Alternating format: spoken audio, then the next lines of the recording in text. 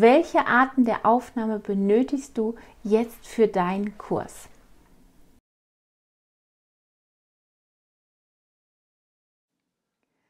Ja, die Frage ist nicht so ganz so einfach zu beantworten, ne? weil es kommt immer ganz darauf an, welche Aufnahme du für welches Thema brauchst. Weil manchmal braucht man eben ein Overhead, manchmal braucht man ein Talking Head und manchmal braucht man einen Screencast. Und das hängt immer ganz davon ab, was du zeigen willst. Ja? Ich weiß, nicht jeder mag vor die Kamera, obwohl wir gewöhnen uns alle dran, ne?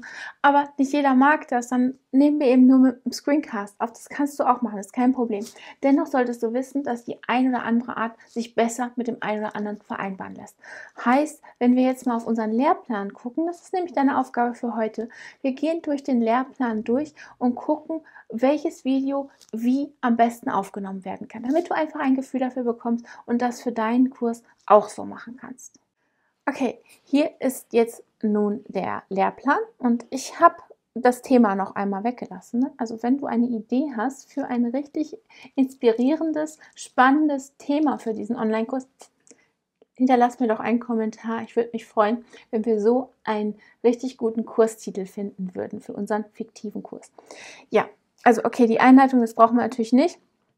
Und dann kommt hier, äh, für wen ist dieser Kurs geeignet? ja, ist doch eigentlich immer schön, wenn man da jemanden sieht, wenn man den Dozenten, den man in dem Kurs haben wird, der einen ja auf eine nicht un, ja, der auf einen auf eine Reise begleitet, ne, und der einen auch mit einem auch eine gewisse Zeit verbringt, dann wäre es ja nicht ganz so schlecht, wenn man denjenigen mal gesehen hätte. Ne? Also deswegen ist es an diesem Punkt gar nicht so schlecht, wenn man wirklich ein Talking Head Video aufnimmt. Ja?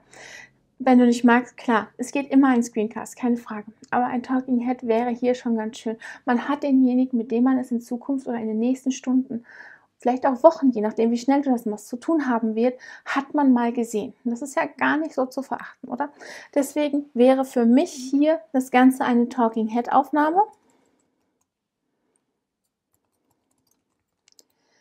Und, ach, habe ich einen zu hoch gerutscht. Okay, einmal runter. Ja, dann geht es. Das wird in diesem Kurs behandelt. Auch hier ist es wieder ja eigentlich eine gute Idee, ein Talking Head zu machen. Oder aber du kannst hingehen und äh, mit deinem PowerPoint oder ähm, Keynote-Programm eine Präsentation erstellen und dann wirklich auflisten, äh, was in dem Kurs behandelt wird. Ja? Also das ist, ist sowohl als auch möglich, das kannst du machen, wie du möchtest.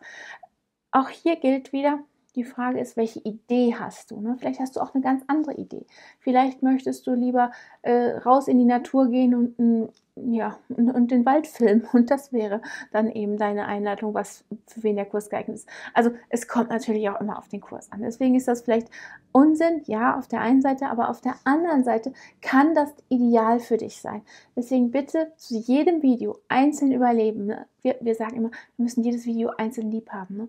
Und so ist das hier auch. Also wir müssen jedes Video durchdenken, überlegen, was da reinkommt, überlegen, wie wir das rüberbringen und präsentieren wollen. Und deswegen kommt jetzt hier, schreibe ich jetzt einmal äh, Talking Head und einmal äh, Screencast. Also oder Screencast. So, und dann das dritte Video ist hier, wie sieht es jetzt bei dir aus? Was gefällt dir zu Hause, was nicht? Ja, an dieser Stelle was könnte sich der Kursteilnehmer wünschen? Das ist jetzt die große Frage. Wünscht er sich entweder, dass du ihn wirklich direkt fragst, ne, was gefällt dir zu Hause nicht? Ja, dann müsstest du irgendwie ein Feedback bekommen. Oder gehst du zu Pinterest und zeigst, äh, gibst da oben mal ein nicht so schönes Zuhause ein, also gibt bestimmt bessere Keywörter. Äh, und dann werden dir irgendwelche Wohnungen aufgelistet, die fürchterlich durcheinander sind und du kannst da was zu sagen, warum das oder das oder das nicht gemütlich ist. Kann man vielleicht auch machen, ne? dass man schon mal ein paar Anhaltspunkte gibt, was man vielleicht als nicht so schön ansehen könnte und so zu dem äh, Teilnehmer eine, eine Verbindung aufbaut. Ne? Der findet sich vielleicht darin wieder und sagt, ach ja, so ist das bei mir auch, ne? das gefällt mir auch nicht, können wir das ändern? So, das ist ja, der, das ist ja die Sache hier. Ne? Achtung, so eine Wohnung ist eine sehr intime Sache, also man muss immer, immer mit dem nötigen Feingefühl davor gehen, weil äh, man möchte ja nicht denjenigen beleidigen. Ne? Also wenn du jetzt da irgendwas zeigst, na ja, sieht es bei dir so aus, ne? so, durcheinander dreckig, hm, ähm, ist das garantiert keine gute Idee.